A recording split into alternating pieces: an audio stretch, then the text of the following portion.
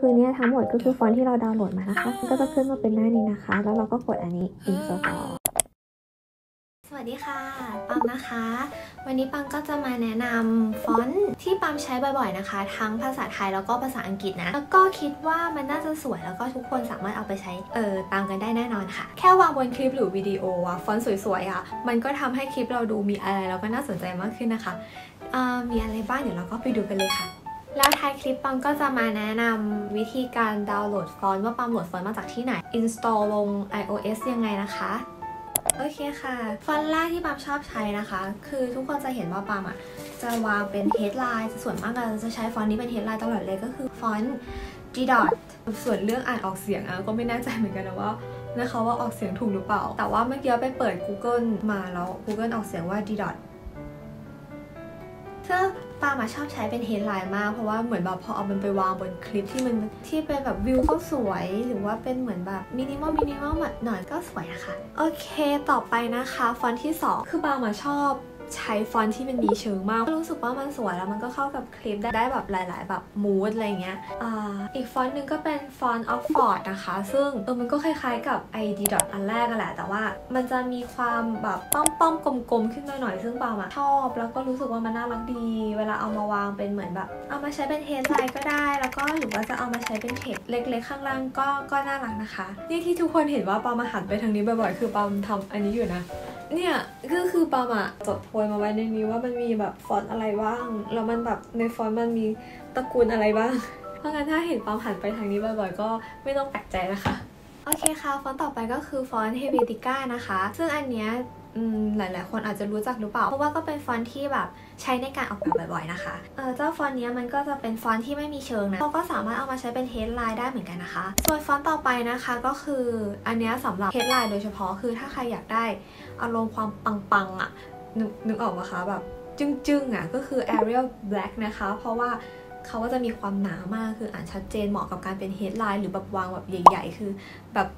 ตะโกนอะทุกคนฟอนต์ต่อไปนะคะก็คือ Epilogue ฟอนต์เนี้ยปามาเห็นบ่อยๆในพวกโฮมคาเฟ่เกาหลี ซึ่งจริงๆอะปาไม่รู้หรอกนะว่าเขาใช้ฟอนต์อันนี้หรือเปล่า แต่ว่ามันดูคล้ายๆอะพอเอามาวางในคลิปหรือว่าในรูปภาพอะไรเงี้ยมันมินิมอลมากเลยอะ มันเกาหลีเกาใจมาก น่ารักค่ะส่วนอีกฟอนต์นึงนะ อันนี้แถม เพราะว่าเพิ่งมาเจอมาปามาชอบดูคลิปของคุณเอมิฟี่คือเขาทำคลิปน่ารักมาก เดี๋ยว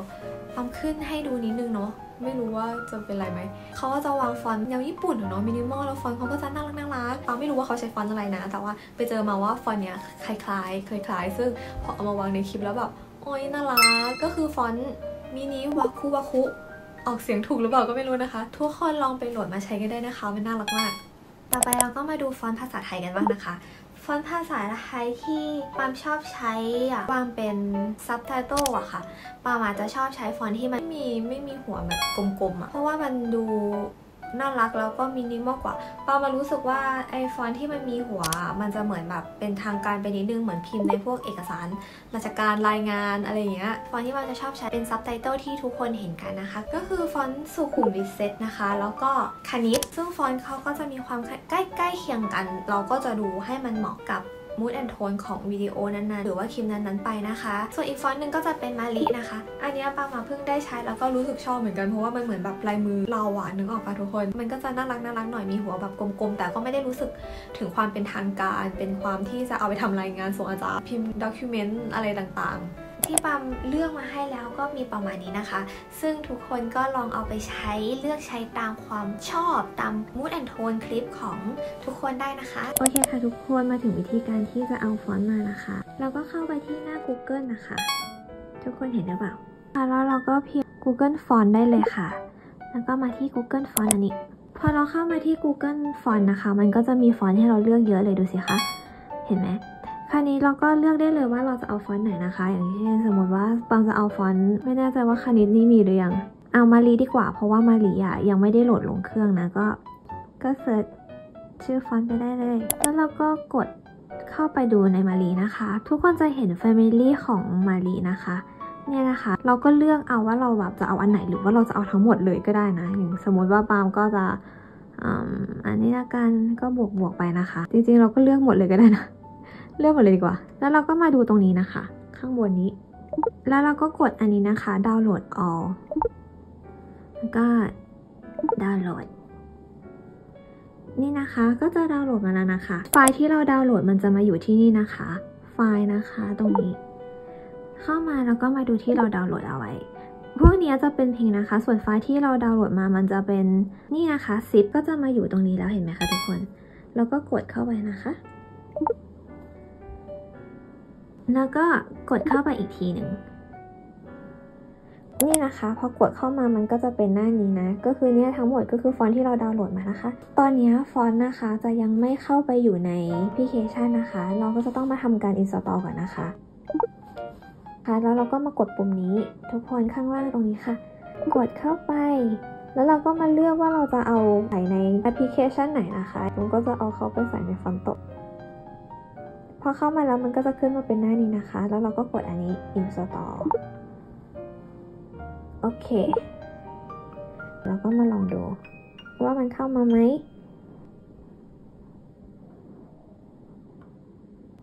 add text นะคะ ก็มาดูที่ฟอนต์เข้ามาตรง my font นะคะ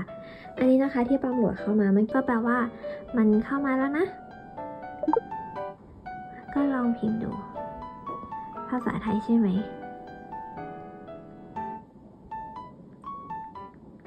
โอเค ก็เข้ามาเรียบร้อยใช้ได้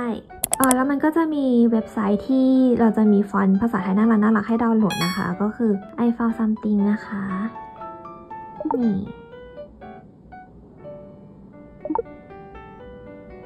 เซิร์ชด้วยนะ แล้วก็พิมพ์ นี่นะคะ เห็นไหมทุกคนก็จะเป็นฟอนต์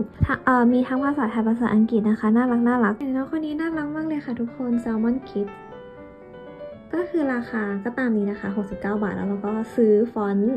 อุดหนุน Creator ไทยนะคะ ก็จบไปแล้วนะคะสำหรับคลิปนี้สั้นๆ แต่ก็หวังว่าทุกคนจะได้ประโยชน์กันไปบ้างนะคะแล้วก็เหมือนเดิมนะคะ ถ้าใครอยากให้ปังทำคลิปอะไรก็มาคอมเมนต์ไว้ ข้างล่างได้นะคะ ทุกคอมเมนต์เป็นกำลังใจให้ปังมมากๆ จริงๆ คือเวลาปังเห็นคอมเมนต์ที่เออพิมพ์มาให้กำลังใจอะไรเงี้ยมันมันใจฟูมากจริงๆอะมันมีความสุขมากจริง ๆ ก็ขอขอบคุณด้วยนะคะ แล้วก็ถ้าใครที่ยังไม่ได้ subscribe นะคะ ก็เออซับสไคร b e ให้ปั๊มด้วยนะคะแล้วก็กดไลค์ให้ปั๊มด้วยก็จะดีใจมากสำหรับคลิปนี้ก็ไปก่อนแล้วนะคะ เราไว้เจอกันใหม่คลิปหน้านะ สวัสดีค่ะบ๊ายบายน้ามาแต่ อย่าลืมซับสไคร b e ให้ด้วยนะคะ